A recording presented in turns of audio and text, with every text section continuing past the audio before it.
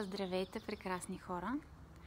Ами да, всяка сряда идвам в Пловдив за няколко практики с любимите ми хора в любимия ми Пловдив. Както знаеш, аз съм родена в този град и наистина обожавам. И си помислих, защо пък да не те доведа заедно с мен и в Пловдив. Това е най-стария град в Европа, а намирам се в момента точно в Стария град – Нашето йога студио, което е в Пловдив, се намира доста близичко до Стария град и винаги, когато имам, макар и малка възможност, аз идвам тук буквално просто за да поема от тази хубава енергия, която може да се усети навсякъде в Стария град. Защо пък да не те потопя и теб? Защо пък да не ти изпратя малко от тази наистина много-много прекрасна пловдивска енергия? Както казах, Пловдив е най-стария жив град в Европа и това никак не е случайно. Енергията, коя, която има този град, знаеш, седемте хълма, невероятният стар град, където може да се усети тази типично българска енергия, атмосфера, къщите, които са толкова приятно реставрирани. Сега ще те разведа малко. Много вярвам и много ми се иска да чуваш птичките, които а, така звучат навсякъде. Тук времето е изключително пролетно и прекрасно, така че а, да, да, Пенка, наистина това е един от най-най-най-красивите градове в целия свят, които съм виждала. Както а, знаеш, аз пътувам доста, но по-прекрасно, по-специално място от България и много специално от Пловдив аз не познавам, така че потапям те в тази типично наша прекрасна атмосфера. Пловдив има все повече чужденци могат да се видят тук и все по-рядко може да се чуе българска реч. И аз съм един от хората, които искрено се възхищава, искрено цени а, нашето си българското, родното, древното, нашата способност да запазваме, макар и не съвсем всичко, което ни е останало от предишните така, поколения. Така че, хайде с мен на една малка импровизирана разходка в Пловдив.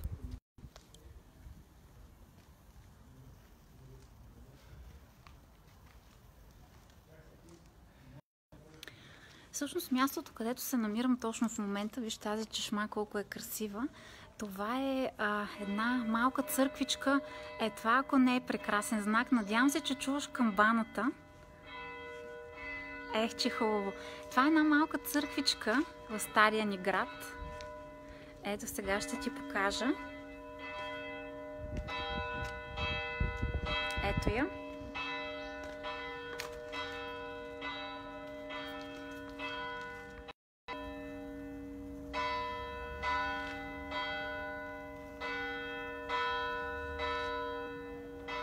Прекрасното дворче.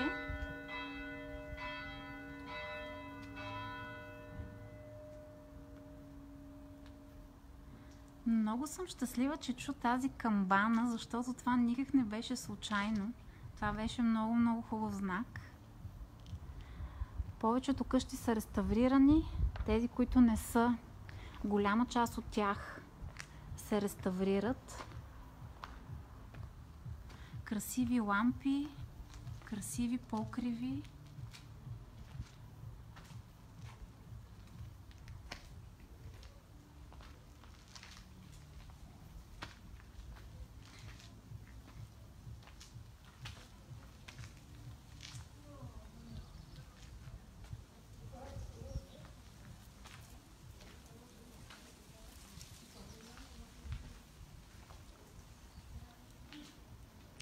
Ето тези типични за този стил еркери, които са леко издадени навън.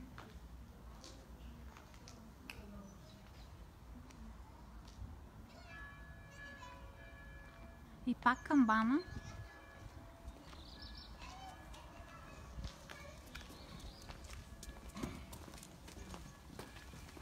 Hi. Hi.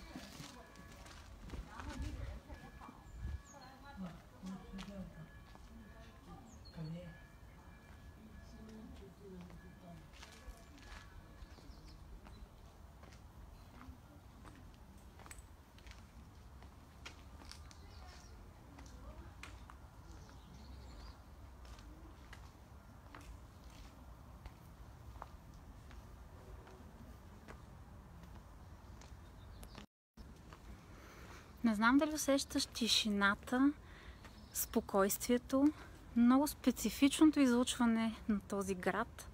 Едно невероятно усещане за център. И продължаваме напред, защото всъщност много често ходиме по други държави, възхищаваме се на други места, а като че ли ние не успяваме истински да се възхитим и да оценим това, което имаме, това, което си е нашенското. Така че продължавам. Наслаждавай се на тази разходка през очите на човек, който за първи път вижда нещо такова прекрасно, защото наистина Пловдив се променя с големи темпове, много бързо и това, което а, е облика на града, е истински възхитителен и се заслужава, въпреки че аз съм тук всяка сряда, въпреки че всяка сряда се потапям в тази атмосфера, заслужава си да те въвлека лекичко и теб, защото нашето българското си е истински прекрасно. Виж тази красива къща.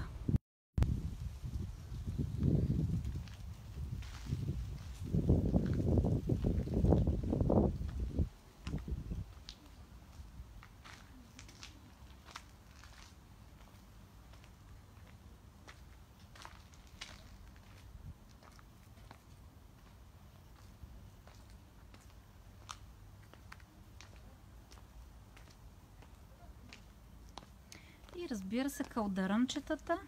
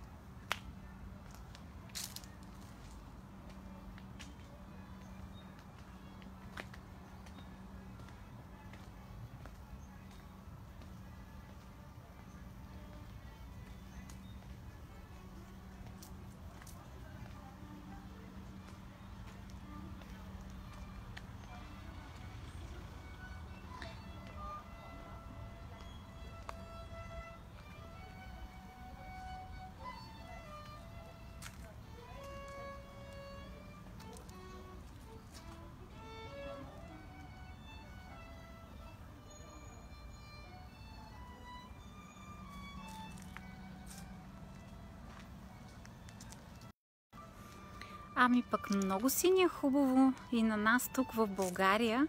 И аз виждам, че все повече хора отварят сетивата си за нашите прекрасни неща, за онези съкровища, които имаме, за онази съкровищница в историята ни, с която разполагаме.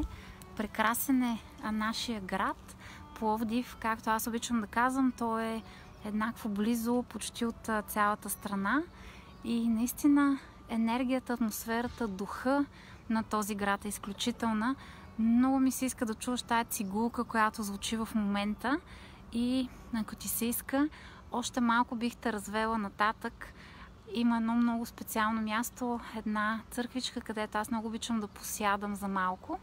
Така че още малко ще те заведа напред, за да усетиш тази още по-специална атмосфера.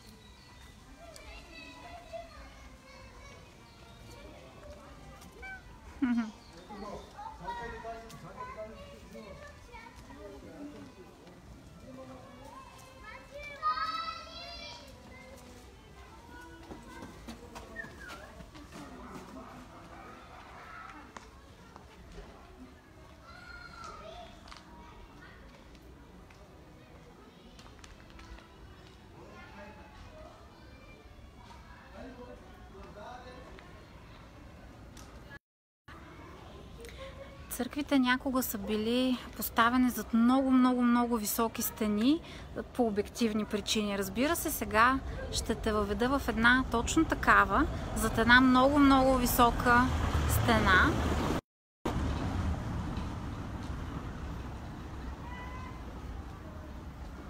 Православен храм Свети Константин и Елена.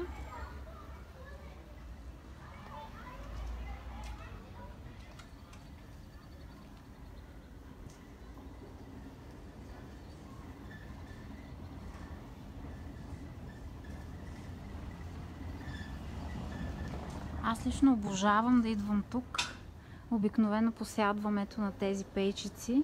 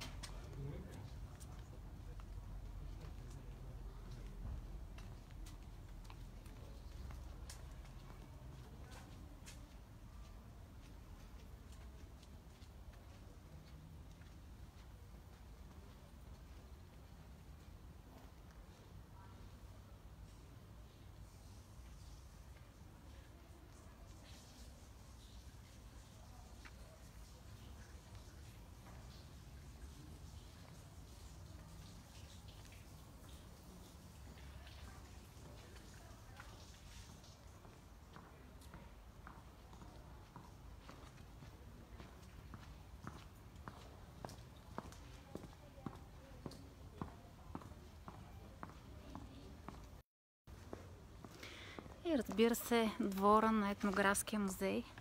Едно друго му е много любимо местенце, където обикновено, когато дойда и имам малко време, просто посядвам, за да се насладя на тишината, за да уловя магията на Стария Пловдив, на този прекрасен стар град, оцелял толкова, толкова, толкова много години назад. И, както казах, най-стария жив град в Европа. Представи си колко много владетели са избирали да пребивават тук, да взимат от неговата енергия. Стария град в Пловдив се намира в най- една от най-високите части на града и от тук се вижда по изключителен начин целият град. Въобще мястото е много специално, така че сега, когато има още топли летни дни, това циганско лято, може спокойно да си направиш една, една, едно пътуване до този град. Просто разходката по улиците зарежда толкова много и дава толкова много положителна енергия, толкова много корени в същото време, защото наистина имаш усещането как се свързваш със своите корени.